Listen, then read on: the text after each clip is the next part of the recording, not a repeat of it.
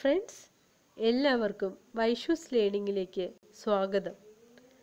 Trends in historiography എന്ന text ബുക്കിലെ evolution of history as a discipline എന്ന ടോപ്പിക്കും ഹിസ്റ്റോറിയോഗ്രഫി എന്ന ടോപ്പിക്കും നമ്മൾ കണ്ടു കഴിഞ്ഞു. ഇന്ന് പുതിയൊരു ടോപ്പിക്കുമായാണ് വന്നിരിക്കുന്നത് ക്വാസി ഹിസ്റ്ററി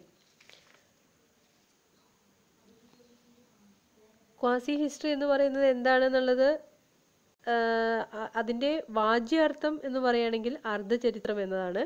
എന്താണെങ്കിലും ഈ ക്വാസി ഹിസ്റ്ററിയെക്കുറിച്ചുള്ള പാരഗ്രാഫ് ഞാൻ ആദ്യമേ വായിക്കാം. അതിനുശേഷം ഓരോന്നായിട്ട് അതിന്റെ അർത്ഥം പറഞ്ഞുതരാം the term quasi history denotes to explain classical or pre classical composition quasi means half and it's evidence that we are conferred with the numerous classics which carry half history.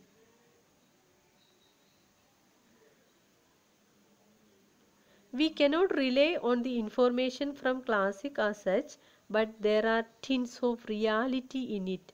So, quasi history means half history, and while dealing with the sources quasi historical in nature, one should be very careful to evaluate and interpret the events and incident.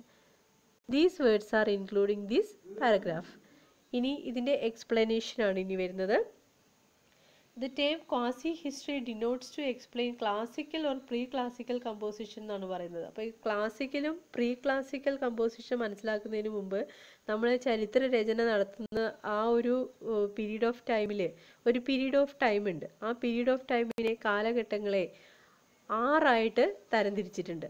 അവ ഏതൊക്കെയാണെന്ന് വെച്ചാൽ early music till ആയിരത്തി നാനൂറ്. Renaissance ആയിരത്തി നാനൂറിനും ആയിരത്തി അറുന്നൂറിനും ഇടയിലുള്ള കാലഘട്ടം. Baroque period ആയിരത്തി അറുന്നൂറിനും ആയിരത്തി എഴുന്നൂറ്റി അൻപതിനും ഇടയിലുള്ള കാലഘട്ടം. ക്ലാസിക്കൽ ആയിരത്തി എഴുന്നൂറ്റി അൻപതിനും ആയിരത്തി എണ്ണൂറ്റി മുപ്പതിനും ഇടയിലുള്ള കാലഘട്ടം. ഈ കാലഘട്ടമാണ് നമ്മൾ പറഞ്ഞത് ക്ലാസിക്കൽ ഓർ പ്രീ ക്ലാസിക്കൽ എന്ന് പറയുന്നത്. അതിനുശേഷം വരുന്നതാണ് റൊമാന്റിക് കാലഘട്ടം. ആയിരത്തി എണ്ണൂറ്റി മുപ്പത് ആയിരത്തി തൊള്ളായിരത്തിന് ഇടയിലുള്ള കാലഘട്ടം. പിന്നെ ട്വന്റീൻത് സെഞ്ചുറി അങ്ങനെ സിക്സ് ടേം ആയിട്ടാണ് നമ്മൾ ഇതിനെ തരംതിരിച്ചിട്ടുള്ളത്. നമുക്കിതിൽ ജസ്റ്റ് അർത്ഥം നോക്കുകയാണെങ്കിൽ മ്യൂസിക്കൽ പീരീഡ് എന്ന് പറയുന്നത് ആയിരത്തി നാനൂറ് വരെയുള്ള കാലഘട്ടമാണ്. പിന്നെ നവോത്ഥാന കാലഘട്ടമാണ് പറയുന്നത്. കലയുടെയും ശാസ്ത്രത്തിന്റെയും ഒക്കെ ഉയർച്ച താഴ്ചകൾ നമ്മൾ കണ്ടറിഞ്ഞ പുതിയ പുതിയ നവീന കലാസൃഷ്ടികളും കൊത്തുപണികളും പുതിയ പുസ്തകങ്ങളും എല്ലാം നിറഞ്ഞ ഒരു കാലഘട്ടമാണ് നവോത്ഥാന കാലഘട്ടം എന്ന് പറയുന്നത്. പിന്നെ baroque പീരീഡാണ് baroque period is a period that several type of style of arts architecture music dance painting sculpture and other art that flourished in Europe from the early seventeen century that period is known as the baroque period പിന്നെ വരുന്നത് classical കാലഘട്ടമാണ്.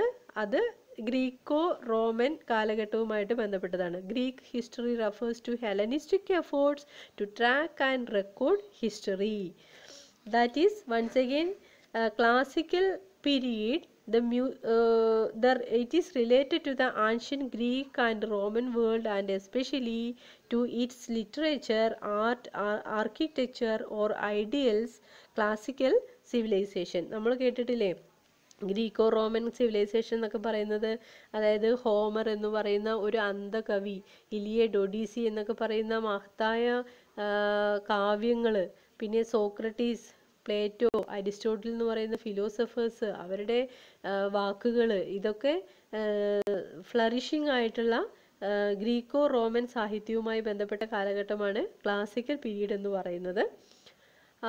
ആ classical period കാലഘട്ടത്തിൽ അതിനുശേഷം വന്നതാണ് ഏതാണ് romantic കാലഘട്ടം എന്ന് പറയുന്നത് അല്ലേ? റൊമാന്റിക് കാലഘട്ടം എന്ന് പറയുമ്പോൾ romanticism was an artistic lit artistic literary musical and intellectual movement that originated in Europe towards the end of the eighteenth century that is romanticism then twentieth സെഞ്ചുറിയിൽ വന്നിട്ടുള്ള ഫർദർ ഡെവലപ്മെന്റ്സ് ആയിരത്തി തൊള്ളായിരം മുതൽ രണ്ടായിരം വരെയുള്ള കാലഘട്ടം. അപ്പോൾ ഇത്രയും കാലഘട്ടങ്ങൾ ഇതിൽ ഇൻക്ലൂഡിങ്ങളാണ് നമ്മളിതിൽ ജസ്റ്റ് എടുത്തിട്ടുള്ളത് classical or pre classical composition മാത്രമാണ്. അപ്പോൾ ക്വാസി ഹിസ്റ്ററി എന്ന് പറയുന്ന വാക്ക്. The term quasi history denotes to explain classical or pre classical composition quasi means half അതായത് മലയാളത്തിൽ പറഞ്ഞ അർദ്ധചരിത്രം എന്നാണ് ഇതുകൊണ്ട് അർത്ഥമാക്കുന്നത്.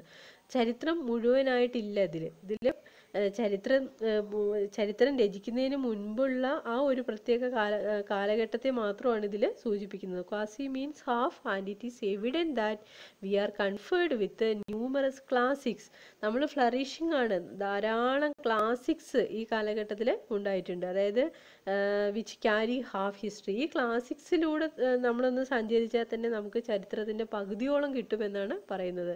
We cannot rely on the information from classic as such but there are എറ്റിൻസ് of reality reality in it നമുക്ക് ലഭ്യമായിട്ടുള്ള ഈ ക്ലാസിക്സിനെ പൂർണമായിട്ട് നമുക്ക് അങ്ങോട്ട് വിശ്വസിക്കാൻ പറ്റില്ല.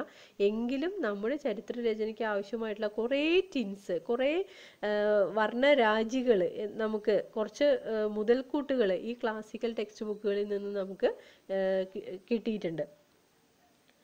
അപ്പോൾ ഈ വർണരാജികളെ എല്ലാം കൂടെ കൂട്ടി യോജിപ്പിക്കുമ്പോൾ ഒരു ചരിത്രത്തിന്റെ ആദ്യ പദം കിട്ടുമെന്ന് കിട്ടുമെന്നാണ് പറയുന്നത്.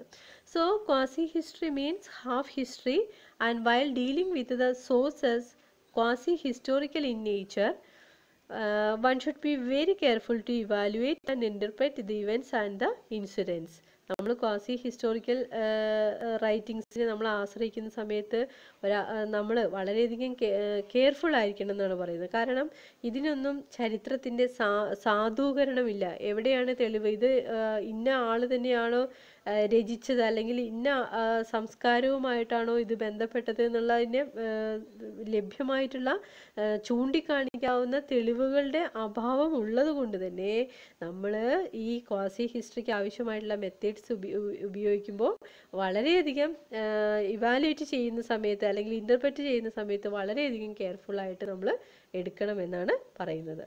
അപ്പോൾ ക്വാസി ഹിസ്റ്ററി എന്ന് പറയുന്ന ടേം കൊണ്ട് അർത്ഥമാക്കുന്നത് അർദ്ധചരിത്രം എന്നാണ്. അർദ്ധചരിത്രം എന്ന് പറയുന്നത് ചരിത്രത്തെ മുഴുവനായിട്ട് രചിക്കുന്നതിന് മുൻപുള്ള ഒരു കാലഘട്ടം. അതിന് പ്രധാനമായിട്ട് നമ്മൾ ആശ്രയിച്ചിട്ടുള്ളത് ഗ്രീക്കോ റോമൻ സാഹിത്യ കൃതികളെയും അതിന് മുമ്പുള്ള ക്ലാസിക്കൽ കാലഘട്ടമാണെങ്കിലും ക്ലാസിക്കൽ കാലഘട്ടത്തിന് മുൻപുള്ള കാലഘട്ടമായിട്ടുള്ള ആണെങ്കിലും അതിൽ നിന്നുള്ള തെളിവുകളെയാണ് പ്രധാനമായിട്ട് നമ്മൾ എടുത്തിട്ടുള്ളത്. അപ്പോൾ ഇത് ഇതൊരു ചരിത്രമാണ്. ഇത് വെച്ചിട്ട് നമുക്ക് ഫിനിഷ് ചെയ്യാന്ന് പറയാൻ പറ്റില്ല. മുന്നോട്ട് പോകുന്നതിനുള്ള ഒരു ആദ്യ പടി എന്ന നിലയിലാണ് ഈ ക്വാസി ഹിസ്റ്ററി എന്ന് പറയുന്നതിനെ നമ്മൾ കാണുന്നത്. താങ്ക് യു നിങ്ങൾക്ക് ഈ ചാനൽ ഇഷ്ടപ്പെട്ടു എങ്കിൽ ലൈക്ക് ചെയ്യുക ഷെയർ ചെയ്യുക സബ്സ്ക്രൈബ് ചെയ്യുക.